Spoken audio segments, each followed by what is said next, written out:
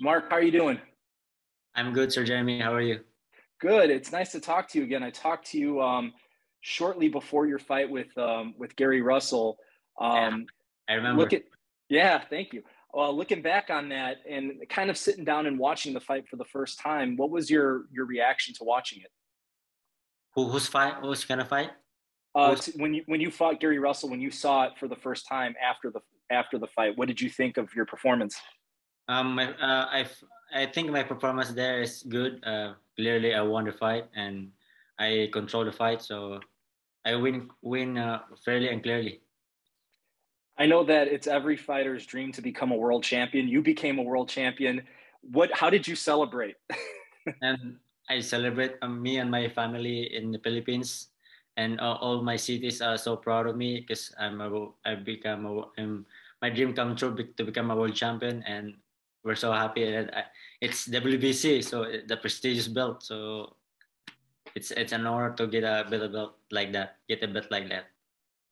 Now I talk to boxing fans from from all over the world and Philippine fans are are some of the best fans in the world.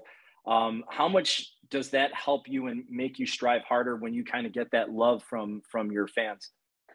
Um, I always focus in my me myself and in the gym to make them proud. And when I when I fight, so I I, I train hard work and to to maintain that status. I know that Manny Pacquiao you know, arguably the the biggest idol in in, in boxing, um, and and obviously in, in the Philippines, huge. With him retired, do you feel like you have more of the spotlight on you to become like the next great Filipino champ? Yeah, when when, when he announced that he retired, um, a little sad or I cry a little bit because he's my idol since since I start boxing. He's, he's the one who, who he's the one that inspired me to train boxing. So he's my hero in boxing. So that's why a little bit sad. But if he if if he fights, I hope I I'm the one in undercard.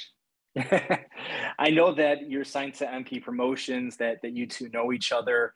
Over the years, what would you say has been some of the the best advice that Manny Pacquiao has given you?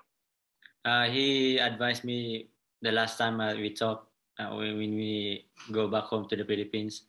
Um, he said to me that he told, told me how about the how to discipline yourself in, in the training, train hard work every time, and focus and pray to God. That was he said to me. Do you ever kind of sit back and, and watch film with Manny at all? Does he, does he ever kind of give you pointers about the technical part of boxing? Actually, he talked about um, about my opponent this coming fight. He, t- he taught me how to defeat that tall guy. So he, he, he only said to me to defeat that guy, use your footwork. Use your footwork. I like it. Speaking of that, Rey Vargas, he is a tall, a tall fighter for the division. Um, is that something that you're used to, is seeing someone that tall, or is that going to be a bit different for you?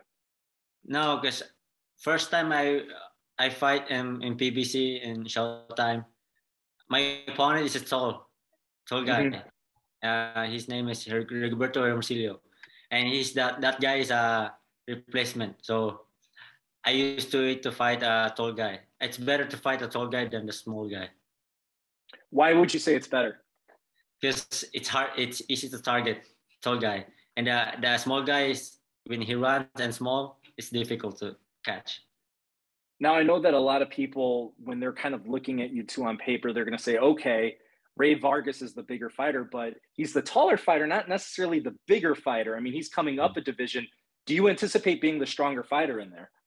I think I'm I'm uh, stronger than him because my my normal weight my my normal weight is 126 pounds in mm-hmm. in, in fighting, and he's moving up. So I'm I'm stronger and big, I'm bigger than him. He's he's just tall, like. Mm-hmm. I'm assuming that you've obviously looked at some of this film and see, see seen his fights before. Um, what's kind of your opinion of him as a fighter? Um, he's as a classic fighter, uh, slugger fighter. He's not gonna engage he's not gonna engage if he feels uh, his opponent is strong.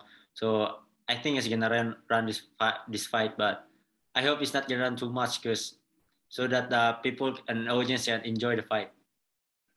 I know that working out of you know wild card, working with Freddie, that you, you probably you know have some great people working with you. Um, have there been any big names that you've been working with while sparring? Yeah, I have a, a lot of sparring partners, but we're not gonna reveal our sparring partners yet. Because uh, gotcha. Yeah, after maybe after the weigh-in or after we we posted it, my sparring partners. Now you're you're fighting in the Alamodome. That's where uh, Pacquiao versus Barrera happened. It's got to mean something special to you that that here you are all these years later, you know, um, in that same type of stadium.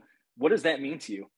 That's that that arena that I first I saw uh, Senator Manny Pacquiao and Marco Antonio Barrera first fight, and that the first fight I saw him fighting. So that's that's that fight that fight inspires me to train. So that that that fighting is uh, that fight is this this arena is very important to me because uh, very special because uh, that's the time that's the day and the time that I saw Manny Pacquiao fighting and then inspired me to train. And now I'm the main event to fight there, so I'm very blessed. Has he has he talked to you about fighting in the Alamodome at all, or what that feeling is like, or that experience in a great fight like that? We haven't talked that about that, but if if if I showed him, if I told him that I'm gonna fight that arena, maybe surprised too.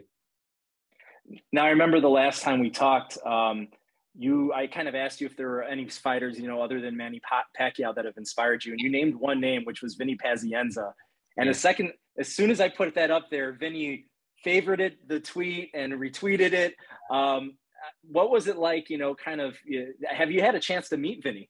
Yeah, I've, uh, it's a been honor. It's a, it's my honor to to face face to face and and uh, in in in in Atlantic City that my, is my idol since since that movie that I saw it. So it's great. It's great. It, it's inspired me and honor for me. What uh what did he say to you when you two met?